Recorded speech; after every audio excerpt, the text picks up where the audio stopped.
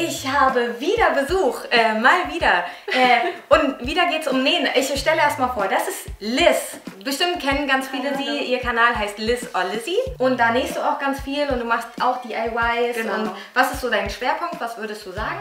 Ich will viel mehr nähen, weil ich ja auch gelernte Maßschneiderin bin tatsächlich. Genau. Ähm, aber bei mir wird auch viel gebastelt, aber wenig gehandwerkt. Deswegen bin Mhm. ich bei Liz zu Gast und wir handwerken ein bisschen und Liz zeigt mir wieder ein bisschen was zum Nähen Genau. und äh, du hast es jetzt so, so ganz kurz nur erwähnt. Liz ist absoluter Vollprofi. Du hast was für eine Ausbildung?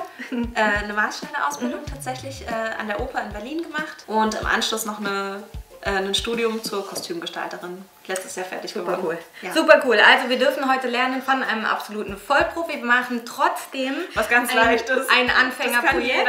Genau. Ich will das jetzt sagen. zu Hause auch vielleicht nochmal machen äh, können und ihr auch. Und Liz hat ja eine absolute Profimaschine und alles. Ich habe trotzdem meine, sorry, meine Nähmaschine mitgebracht, damit Hallo. ich das halt genauso zu Hause dann auch nachmachen kann. Genau, wir nähen auf deiner Maschine. Wir sind hier gerade in Liz ganz neuer äh, gestalteter Dreh- und Nähecke. Elena hat mir geholfen mit diesem wunderschönen Hintergrund. Diese wunderschöne Wand könnt Ja. ihr jetzt gerade zeitgleich auf Liz-Kanal Genau. sehen, wie die entstanden ist, mit mir zusammen und äh, guckt da gerne auch mal rein und wir nähen jetzt erstmal. Wir nähen jetzt.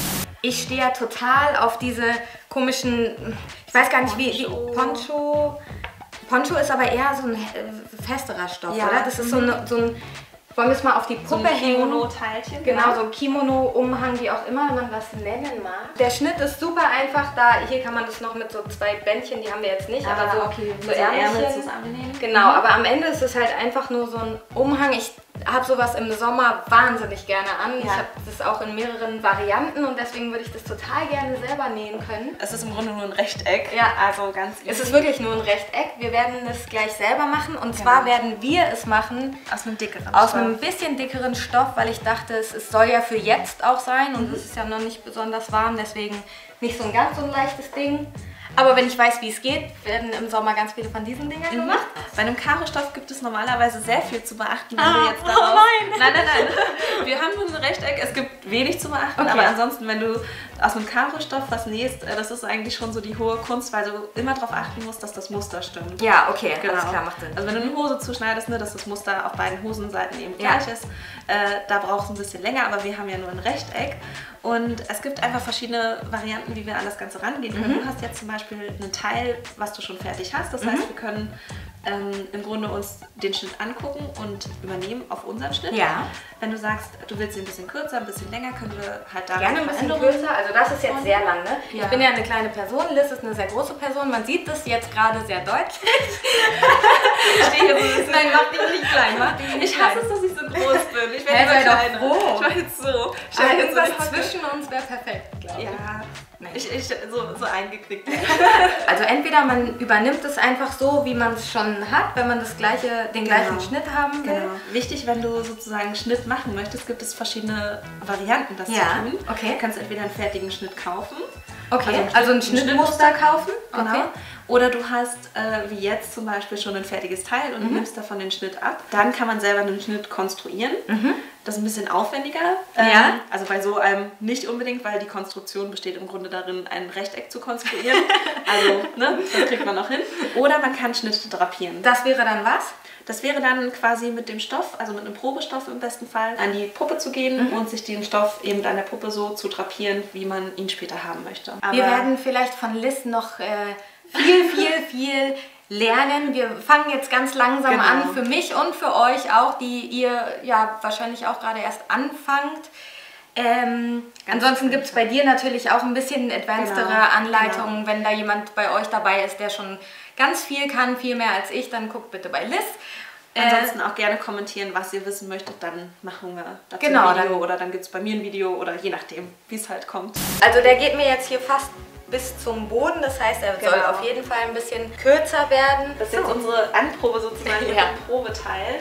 Du kannst mir mal sagen, wie weit du es haben möchtest, das Ich würde es ehrlich gesagt ein ganz schönes Stück, also so Mitte Oberschenkel Mitte vielleicht, Oberschenkel, sowas. also bis hier. Ja. Da haben wir die Länge und auf der anderen Seite übertragen wir es dann halt genauso. Mhm. Ähm, von der Breite bist du so zufrieden? Willst du es gerne? Also kürzer glaube ich nicht, das Nee, sieht glaube ich komisch genau. aus, oder? Ja, also wenn du auch. höchstens ein, Stück Stück länger. länger, vielleicht. Ja, Maximal 10 cm vielleicht, ne? ja Okay, sowas. gut, dann rechnen wir die nochmal mit dazu. Okay. Und das sind im Grunde schon die Maße, die wir brauchen. Also wir haben, dadurch, dass wir eben dieses äh, Teil haben, könnten wir hier von der Schulter mal runter messen. Mhm. Äh, 70 cm und nach hinten dann auch 70 cm nochmal. Okay. Also brauchen wir insgesamt eine Länge von 140 cm. Ja. Und äh, die Schulterbreite sozusagen in diesem Fall, also es wird ja wie gesagt alles ein Rechteck, Mhm. ähm, können wir uns nochmal auf dem Tisch ausmessen, damit es eben nicht so leiert.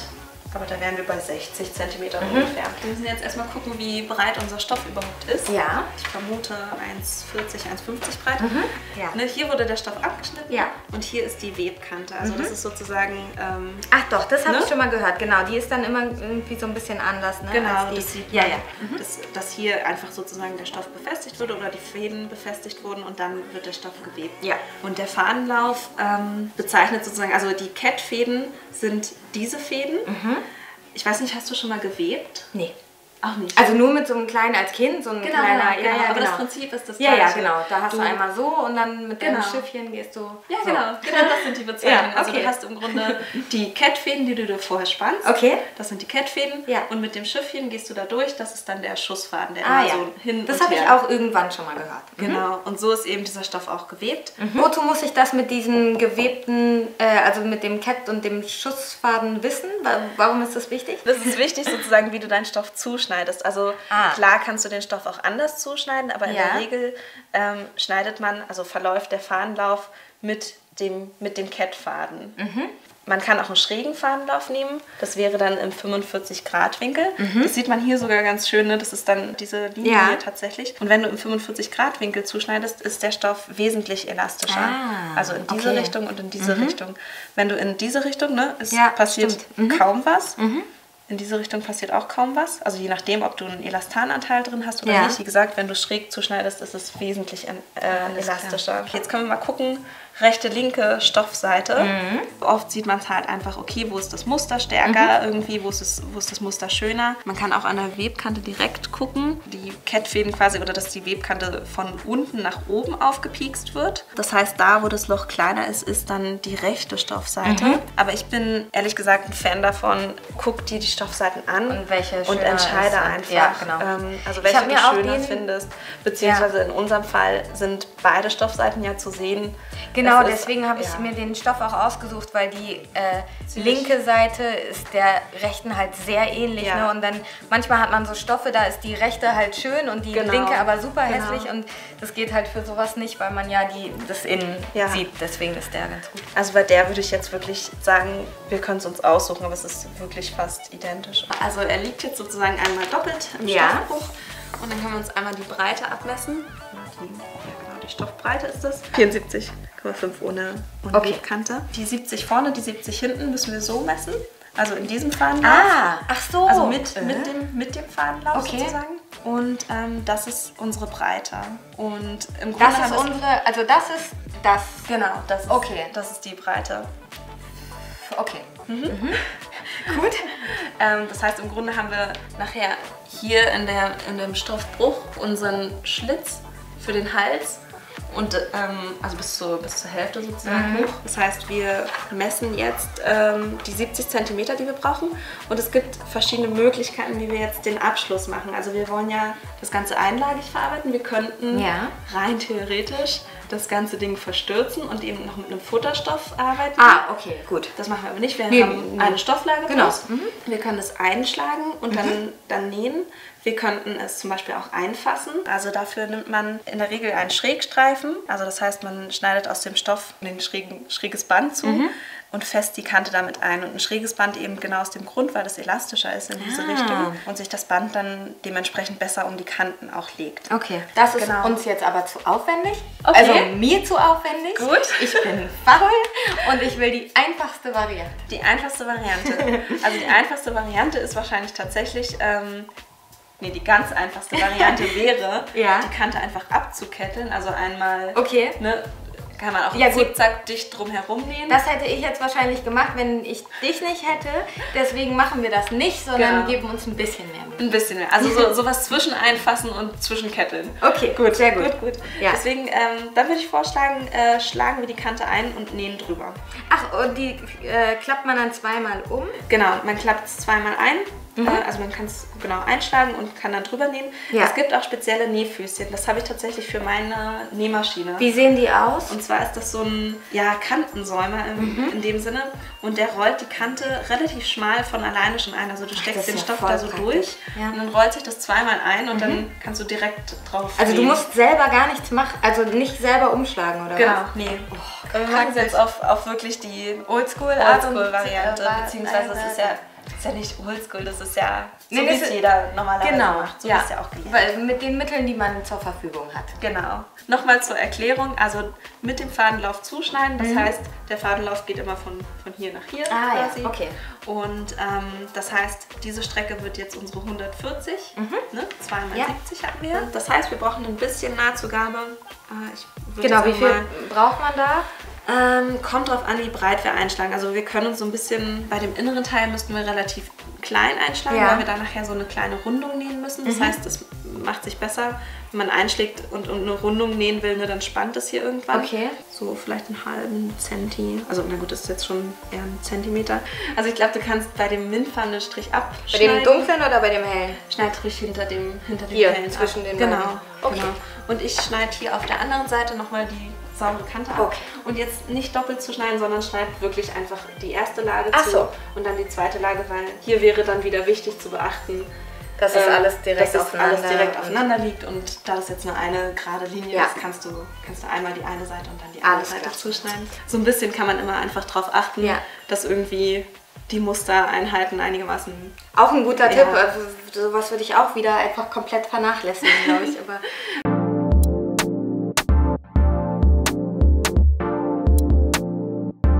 Wir haben es jetzt fertig zugeschnitten, also unsere 1,40er Länge. Und jetzt können wir, weil das Ganze wird ja übergeworfen, das heißt hier vorne haben wir zwei Teile und hinten haben wir ein glattes Rückenteil. ja. Ähm, hier bis zur Hälfte einschneiden. Okay.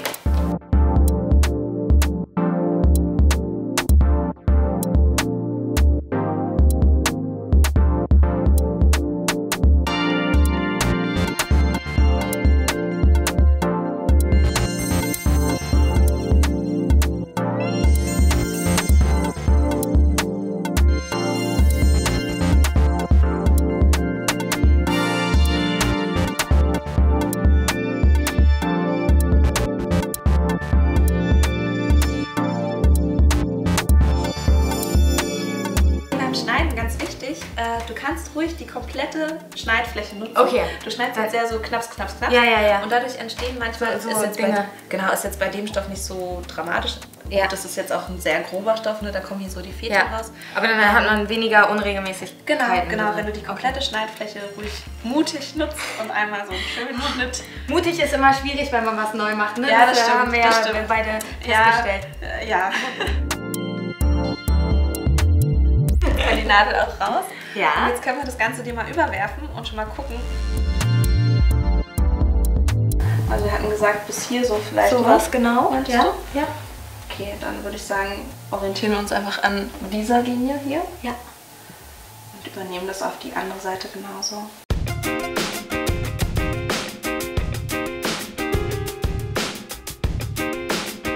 Rein theoretisch könnten wir jetzt hier so ein bisschen noch eine kleine Rundung ausschneiden. Ja. Ja, lass uns das lieber machen. Ja.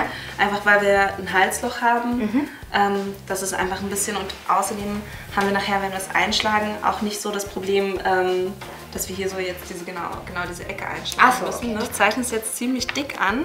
Dann gibt es einen Trick, den die Herrenschneider auch immer sehr gerne anwenden. Okay.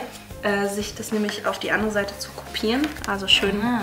eine dicke Kreidelinie zu machen. Okay. Und dann das Ganze nochmal zusammenzuschlagen, übereinander legen. Und jetzt kann man sich ganz leicht. Ja, aber leicht, man sieht's, aber man ja. sieht's, genau. Ja, sehr gut. Und ich würde sagen, wir schneiden jetzt einfach anhand dieser Linie so ein bisschen, also hier würde ich auch Mhm. noch ein bisschen ausgleichen. Einfach nur, dass es eine, eine, ein ganz leichter Übergang ist, damit Ja. wir es besser legen können.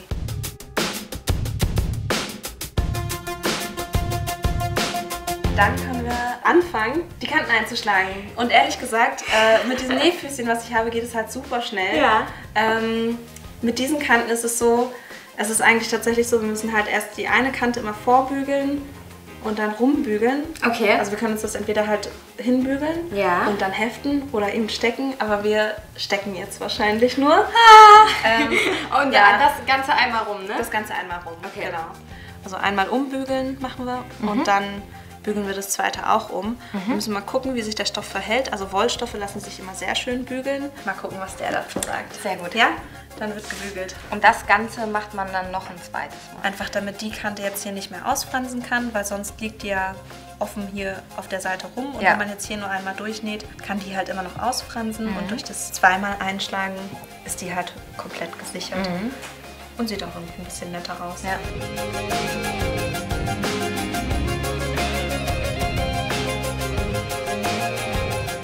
Fürs Nähen würde ich es aber trotzdem noch mal so mit ein paar Nadeln einfach feststecken, damit es sich nicht verschiebt zu doll. Wir haben jetzt die Kanten gebügelt und gesteckt und das nähen wir jetzt gleich. Genau, das wird jetzt knappkantig genäht. Dadurch, dass wir es gut vorgebügelt haben, hält es ja schon ganz Ja. gut. Ne? Ähm, Was heißt jetzt knappkantig in dem Fall? Woran orientiere ich mich? Ist es ähm, Du musst mal auf dein Füßchen gucken. Ja. Ich setze es mal kurz ab. Wenn du hier nähst, einfach mal auf die Innenseite von, von diesem Teil gucken.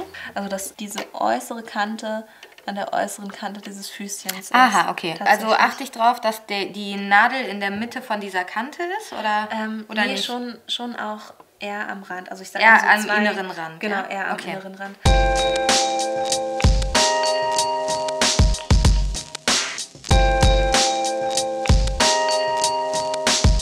Man schön langsam näht, das geht ganz gut. Das ist auch kurz hier- stoppen, jetzt kannst du die nächste Nadel schon rausziehen. Meditativ. Sinnvoller ist immer, die Nadel eigentlich so zu stecken, Ja, dass du sie rausziehen kannst, Genau. äh, wenn du nähst. ja. Genau. Aber jetzt stecken sie gerade anders. Das sieht super gut aus. Gott, so viel Konzentration am Abend jetzt hier. Es ist ja schon einfach Wir haben spät. Wir haben schon so viel gemacht Schon und jetzt sowas, ey. Die erste Kante ist geschafft. Oh Gott, Hilfe! Ja, eine kleine schiefe Naht. Oh Gott, ich drehe das gerade um und denke so, oh Gott, ich habe voll schief genäht. Aber hier geht's ja, eigentlich. Kein Mensch guckt am Ende da Nein, genau kein Mensch. drauf. Und, und ich, das ist jetzt mein, wir haben es noch gar nicht gesagt, ne? Das ist ein Rollsaum. Und in einem Rollsaum verstehe ich irgendwie immer noch einen ganz feinen, kleinen, Okay. schmalen Saum. Ja. Ähm, aber ja, es ist zweimal Also es ist, eingeschlagen ja. halt. Naja, man sieht hier jetzt auf der Seite halt ein bisschen sowas. Ist halt das ist gemein. aber auch die schlimmste Stelle. Naja, und es ist halt auch gemein, weil du hast einen Karo-Stoff und wir haben jetzt uns für einen dunklen Faden entschieden und Ja. hier ist nun mal die helle Stelle. Und das ist also, noch mal viel. Es ist nicht deine Schuld. Ich dachte, ich habe hier voll das einfache Anfängerprojekt und dann stellt sich heraus, es ist doch jetzt alles gar nicht so einfach, wie man dachte. Also hier muss man wirklich sehr, sehr, sehr genau arbeiten. Ich muss Aber- zugeben, es ist auch ein bisschen einfacher tatsächlich, wenn man von der Seite näht, also wenn man es unter, unter der Maschine so hat. Und du hast ja noch ein paar Seiten. Wir haben jetzt noch Versuch. ein paar Seiten offen. Wir probieren das mal. Was äh, du vorhin noch gesagt hattest, Mhm. ähm, es gibt noch so eine andere Methode, die man auch anstatt des Steckens machen kann. Ja, ne? aber ganz ehrlich, man muss schon ein bisschen geübt sein, dass man das dann so gerade hinkriegt. Man kann halt auch einfach, also wir nähen halt erst die, die vorderen Kanten ähm, und also die vordere und die hintere und dann die Seitenkanten und diese innere Kante. Und man kann im Grunde auch dann das unter der Maschine immer Stück für Stück einschlagen und dann nähen. Also das ist wieder genau die Sache, ne? nicht faul sein, ähm, gut gebügelt ist halb Ja, genäht, ist der Spruch. Ja. Also bügel dir die Kante gut vor und dann steckst du einfach drüber und ja. dann, es dauert zwar ein bisschen länger, aber es wird dann auch schöner im Endeffekt. Wir machen das jetzt noch zwei Stunden weiter und dann seht ihr, wie es- voll, ich bin voll die Lust verloren. total motiviert. Kaum, kaum. Nein, Doch, ach komm, das schaffen wir jetzt auch noch und dann seht ihr das Endergebnis. Genau. Wir sind fertig. Wir haben jetzt einmal drumherum genäht. Also am besten ist es wirklich, wenn man ne, mit den vorderen Kanten anfängt, Mhm. die einmal umschlägt und näht und dann die hintere Kante umschlägt und näht und dann äh, genau diese die Längsseiten und eben auch diese mittlere Seite. Und hier Genau. ähm, bei so einer Rundung muss man immer ein bisschen kleiner einschlagen. Weil sonst ist es zu sehr spannend. Du siehst Okay. hier, ne, es spannt schon auch ein bisschen. Ja. Äh, aber hier kann man nochmal drüber bügeln und dann Gut, ist kleiner einschlagen heißt genau die, die, ähm, Äh, dieser Umschlag muss kleiner, schmaler sein. Genau, Okay, gut. Ein bisschen schmaler, weil sonst äh, kann man schwer um die Ecke nähen. Spannt es da halt so ein bisschen. Okay. Ähm, aber da muss man sich so ein bisschen reinfuchsen. Und bei den Ecken ist manchmal auch so ein bisschen ähm, eine Herausforderung. Ich, wir haben es jetzt einfach so übereinander geschlagen. Genau, Ähm, weil wenn, wenn ihr hier lang näht, dann steht hier am Ende sowas ab. So manchmal, wenn es sich, manchmal. wenn's sich so rausschiebt, ne? Genau. Ähm, Und das schlägt man dann einfach so nach innen rein. genau, einfach mit einschlagen und drüber nähen. Und dann in die andere Richtung weiter. Genau, genau. Ja. Eigentlich total selbsterklärend. Ja, So genau. sieht das jetzt aus. Genau, und es ist jetzt ein bisschen kürzer natürlich als dieses, ist ja unglaublich lang und das ist jetzt so, von hinten sieht das so aus. Schön, wie ein kleines Cape. Genau. Und ich, ich stehe total auf sowas. Ich finde, sowas ist immer, wenn man keine Ja. Lust auf einen Pullover hat und irgendwie Ja. einfach sowas rüber überwerfen Ich finde es eigentlich ganz cool tatsächlich, auch wenn man es irgendwie so nur hier, nur hier Genau. vorne mit einem Gürtel tragen würde. Also Das genau, kann man ja, natürlich so auch total machen. auch ganz cool. Und das kann man jetzt in allen möglichen Varianten, Längen, äh, ne? Ja. Und so weiter, wie man möchte. also im Grunde super einfach tatsächlich, Super einfach. aber ein bisschen Nur- Fleißarbeit. genau, Ein bisschen man- Fleißarbeit. Oh, ich auch noch Da, da, da habe ich die Fleißarbeit tatsächlich schon wieder unterschätzt. Ich dachte, ach, easy peasy Projekt. Und dann am Ende ist es halt doch viel Arbeit, weil man sehr genau arbeiten muss auch ja, und so. ein bisschen. Aber es, es schult auch sehr. Genau, gerade Kanten, knapp kann ich. Genau. Perfektes Projekt dafür. Genau. Und nächste Woche machen wir dann aber wirklich ein easy peasy Projekt. Ja, absolut. Genau. Ein Klamottenabzeichen. Ohne Nähen. Ohne Nähen. Also man kann nähen, man muss aber nicht. Genau. Wir werden es wahrscheinlich nicht machen. Klamotten-Upcycling mit Liz gibt es nächste Woche und äh, da seid ihr bestimmt alle wieder. Auf jeden Fall. Bestimmt. Tschüss. Ciao.